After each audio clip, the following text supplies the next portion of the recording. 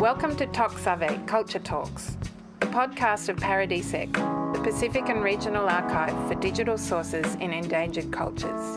I'm Jodie Kell. And I'm Stephen Gagao. These are conversations with people who have personal and cultural connections to the languages and music in our archive. As producers of this podcast, we acknowledge the traditional custodians of the land on which it is recorded and pay our respects to their elders, past and present. We extend that respect to all First Nation contributors and listeners. And please be aware that this podcast may contain the voices of deceased people.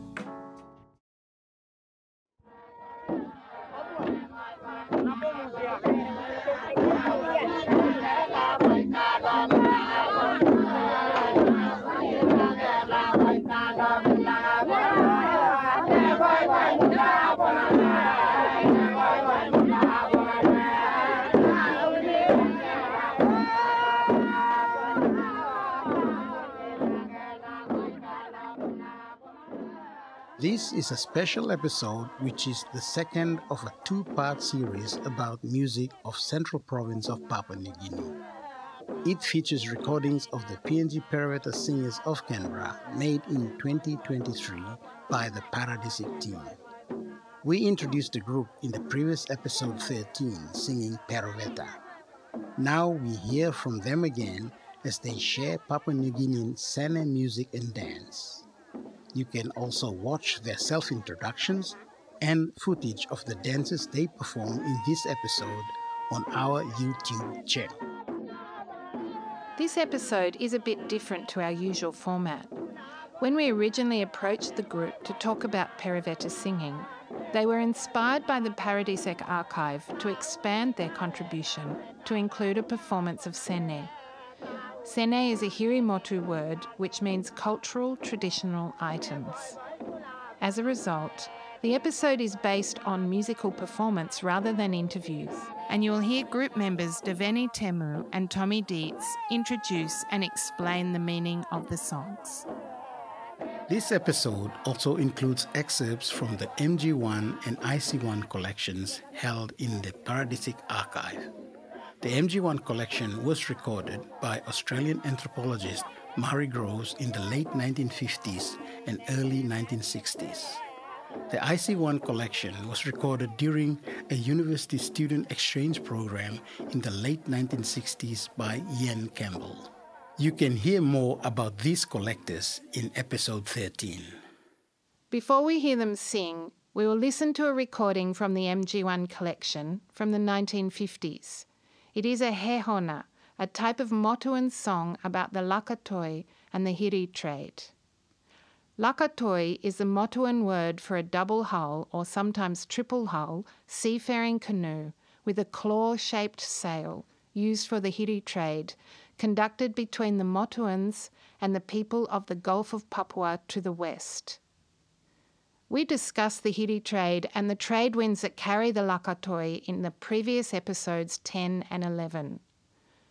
The main reason for the Hiri trade was that Motuan people live in a dry region, so they traded clay pots for sago and other cultural wealth items which could not be grown or harvested locally.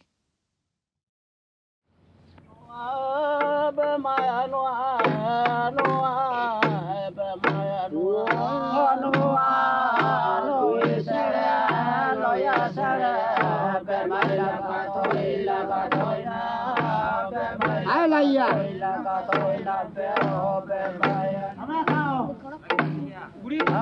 Kalau kalau.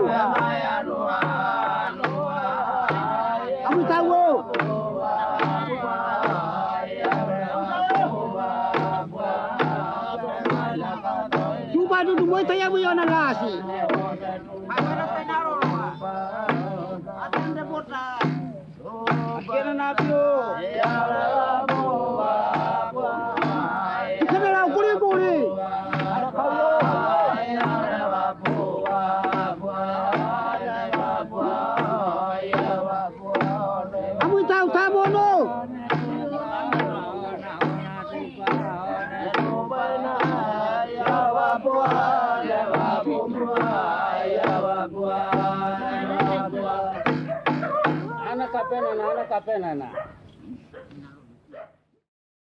Now we will hear the Canberra group will start their performance with a Hehona song.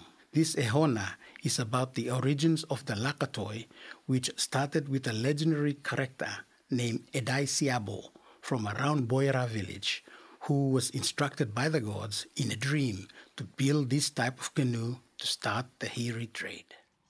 Hehona is an amazing Motu chant song. It's a traditional one. And Hehona is the basis of the whole Hiri trade expedition that happened between the Motu people and the Gulf people. Oh, yeah, nwa da na, yeah,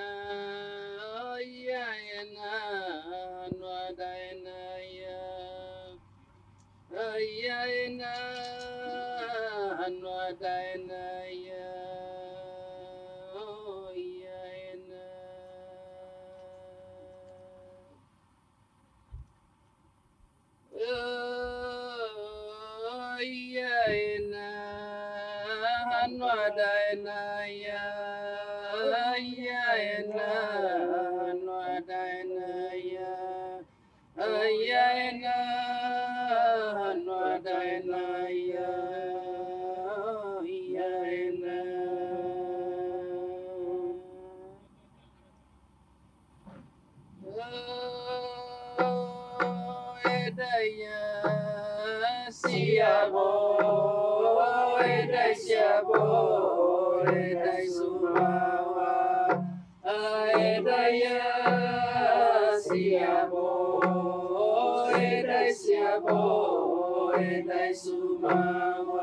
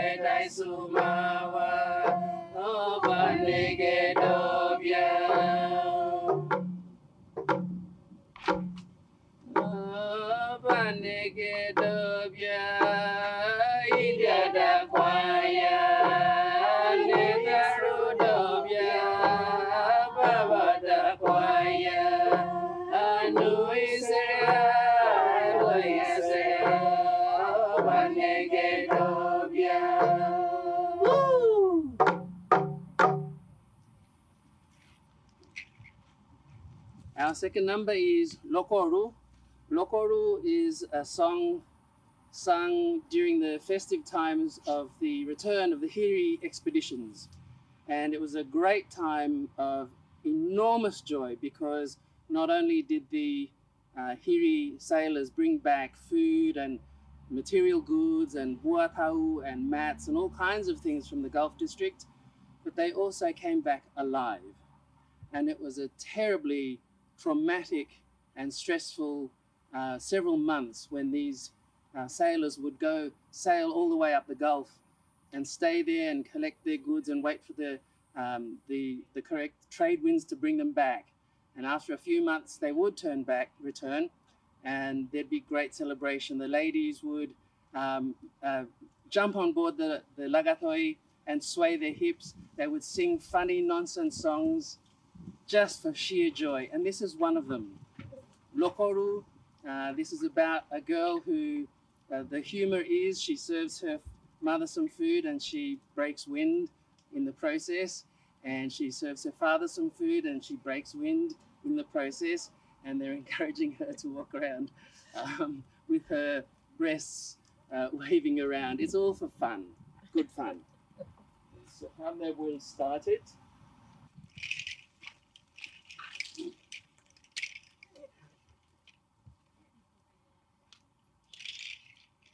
Lokorwe, lokorwe, sinamwana oaheni, orakasidi, rakasidi, tamamwana oaheni, orakabu, rakabu. Lokorwe, mai madayo, lokorwe, kabwa madayo, rasa, rasa, geu, geu, no.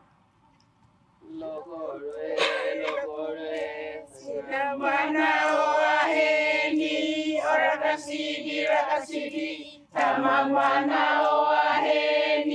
orakabu, rakabu. Lokorwe, bai lokorwe, kabwa madayo, rata, rata, geu, geu, no.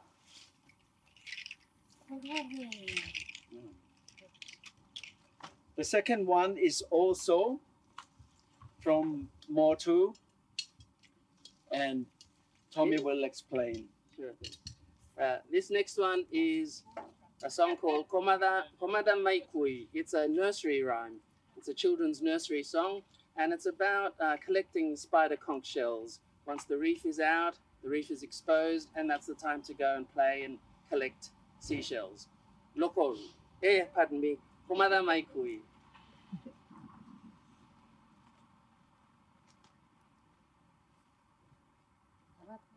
Madamai kui kuiye,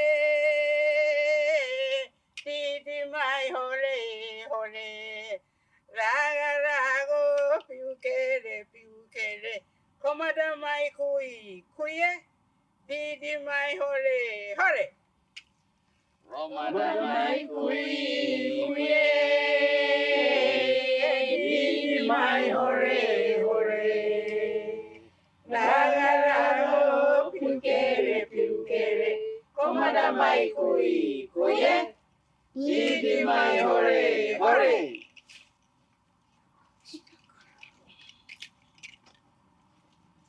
Now we're going to go to um, Aroma, Marshall Lagoon.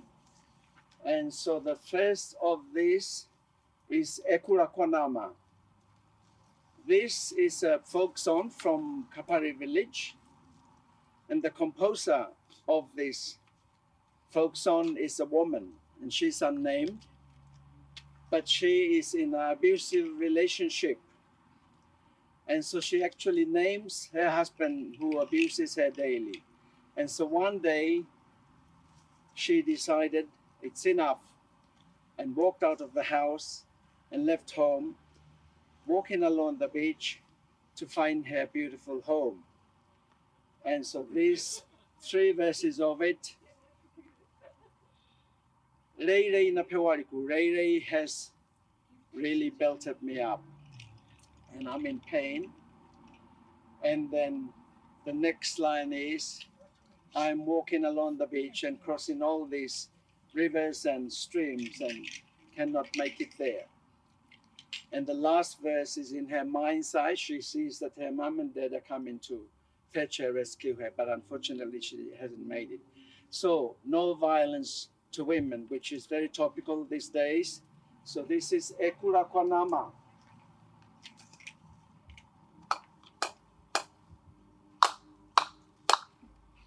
Ekura kwanama, waburi bonama, ekura kwano. Ekura Kwanama, waburi bonama, ekura kwano.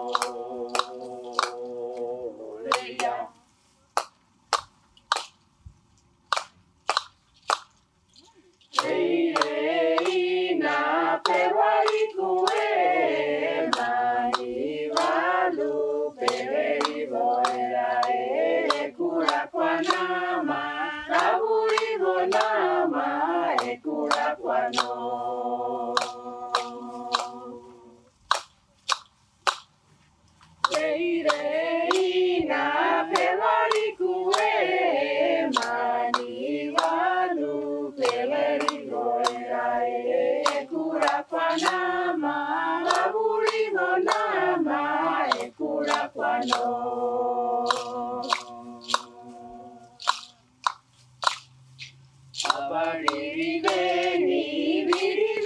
Yana abadoabeni doabeni yanu ekura kwanama baburi nama ekura kwano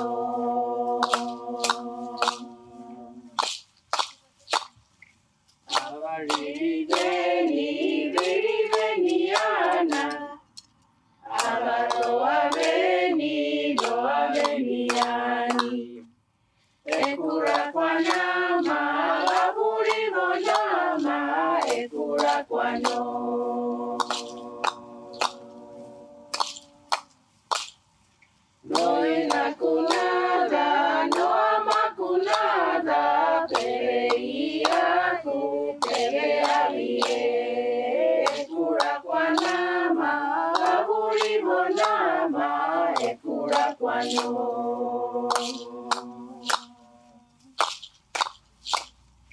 No inakunada, no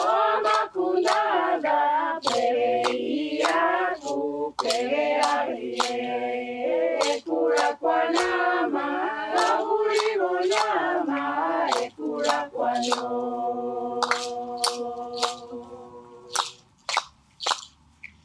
Ekura kwanama, aburi bonama, ekura kwano.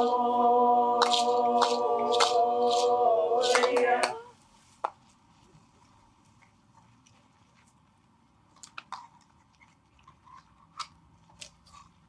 Our next one is again from Kapari village, a folk song. These folk songs were revived in September 1974 when my father and his two cousins brought our village girls to perform at the New Guinea Art, Festival. And so these wonderful people agreed to learn two of the, there's in total 16 of them, but I've taught three of them to these wonderful people. They are all Motu speakers. A lot of them don't speak Aroma or Kekalomai language. But that's how it is in the diaspora. We learn and share with each other. So this one is Eyo Tamao, Tamao Rai, Tamao. Tamao is this pool, and in our villages there's uh, a sago species that grows wild in the depths of the forest. And it's in this pool, and it has these great big spikes or needles, and it's very difficult to access and make the sago. And it has a reddish coloring, uh, coloring, so it is very prized. And so literally it says, Eyo tamao, tamao rai tamao, you are standing there tall and wonderful and think we can't get you. We're coming to get you today. We will come and cut you down, cut down all your um, spikes, break them all into smithereens, and we will get the sago and rush home. And so, Eyo tamao, tamao rai tamao. Eyo tamao, tamao rai, tamao. Eyo tamao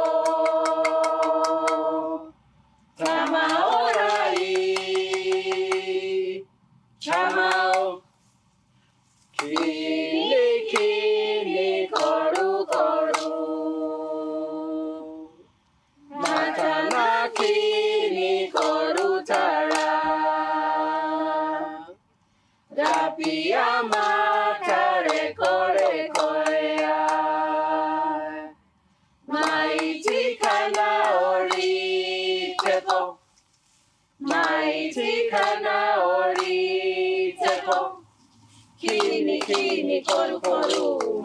Kini koru kara. Rapia matare kore korea. Mighty kana ori tepo. Mighty kana ori tepo. Kini kini koru koru. Kini koru kara. Rapia matare kore korea. Mighty kana ori tepo. Mighty kana ori tepo. We are still on the Aroma coast. And again, this one comes from Kapari village again. and it's called Geno Hoi Vavinevere. So this young woman's name is Geno. Vavine is a woman, Bere is chiefly. So it's Geno Hoi Vavinevere. Geno Hoi Vavinevere. You are, we're looking at you and your tattoos. Saluta's got underneath her. These are the traditional tattoos in this cloth.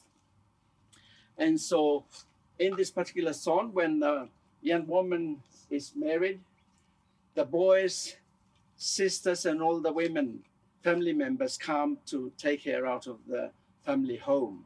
And this is sung as a farewell to her. Geno, you're a woman of chiefly rank because your body tattoos tell us so.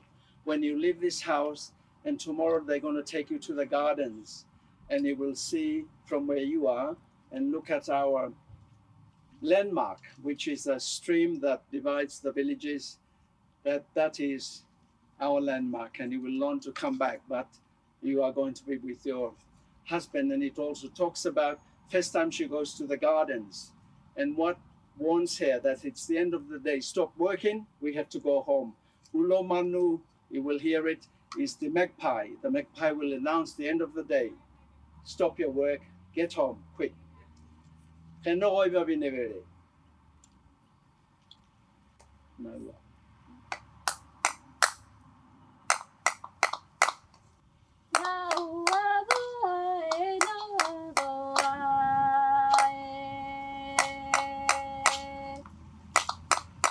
Together.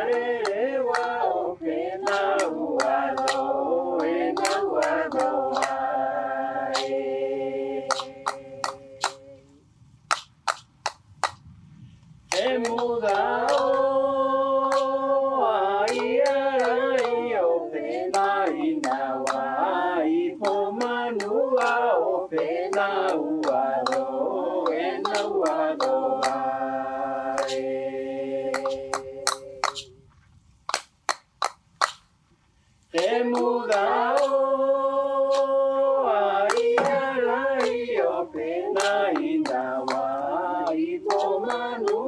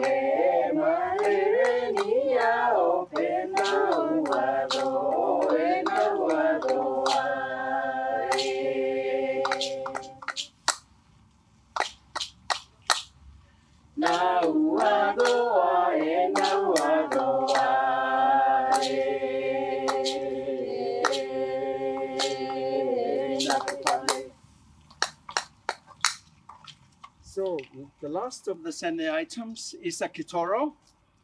Kitoro is a Rigo central item, but also along the coastal villages of Papua New Guinea, this kitoro is uh, danced and sung. And kitoro in our aroma is this actual kitoro. This is the kitoro.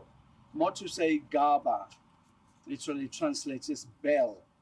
So with these particular lyrics, they were mostly compi- composed by uh, Second World War uh, laborer or carriers, the so-called Fuzzy Angels.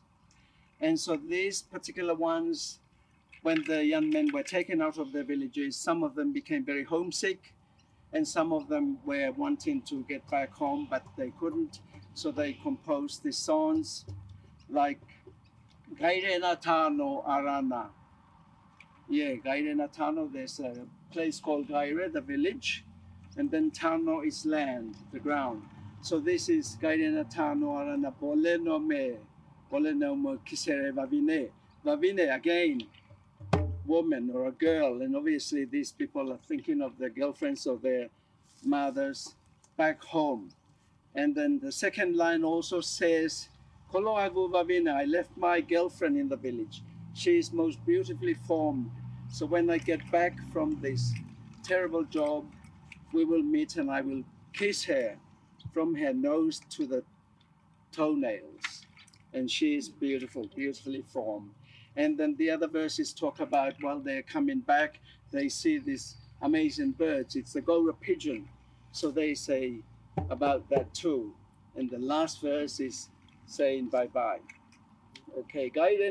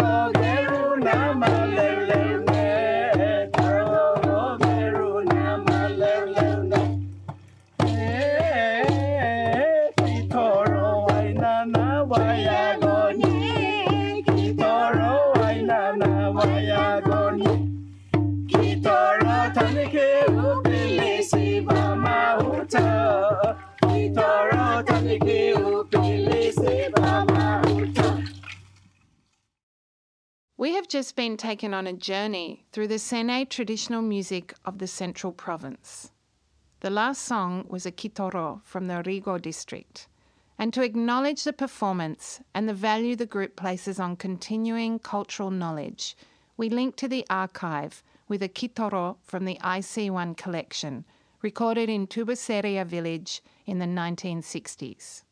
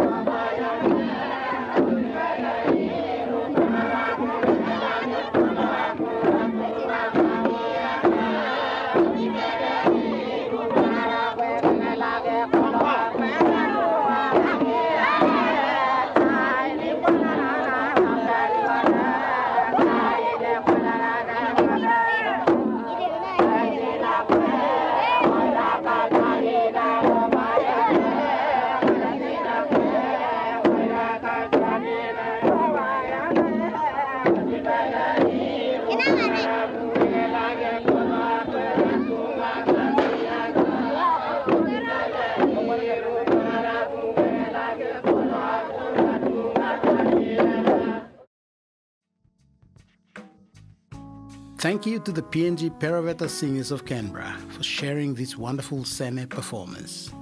These recordings will be added to the Paradisec archive to supplement the Sene recordings already held in the MG1 and IC1 collections. You can find them in the PC2 collection. If you would like to access these collections and the TCT1 collection of our podcast recordings, or find out more about Paradisec, the work we do, and the online catalogue, you can visit our website at www.paradisec.org.au. Toksave Culture Talks was launched as part of the United Nations International Year of Indigenous Languages in 2019. We would like to acknowledge the support of the Australian Research Council's Centre of Excellence for the Dynamics of Language and the University of Sydney, the University of Melbourne, and the Australian National University.